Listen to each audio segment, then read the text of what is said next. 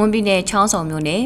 မူတွန်းကျေးရွာမှာဖေဖော်ဝါရီလ20ရက်မွန်လယ်3နိုင်ခန့်ကမီးလောင်မှုဖြစ်ပွားခဲ့ရမှာနေ15လုံးမီးလောင်ဆွဆုံးခဲ့ကြောင်းသိရရှိပါသည်။အဆိုပါချောင်းဆောင်မြို့နယ်မူတွန်းကျေးရွာရက်ကွက်စနစ်နေဒေါ်အေးဝင်းဆိုသူရဲ့နေမှစတင်လောင်ကျွမ်းခဲ့တယ်လို့သိရကြောင်းမိသက်ဦးစီးဌာနမှတာဝန်ရှိသူတို့ကပြောကြားပါသည်။ဒေါ်အေးဝင်းအိမ်မှာဆိုလာနဲ့ဘက်ထရီအားသွင်းထားတာက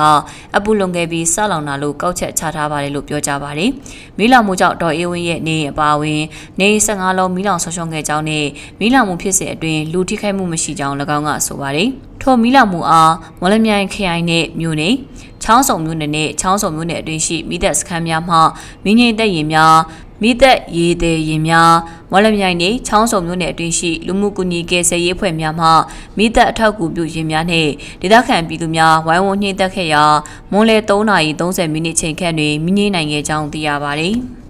မူရုံကျေးရွာအတွင်နေများစိတ်ချင်းရွာလမ်းများကျင်းမြောင်းတဲ့အတွက်ကြောင့်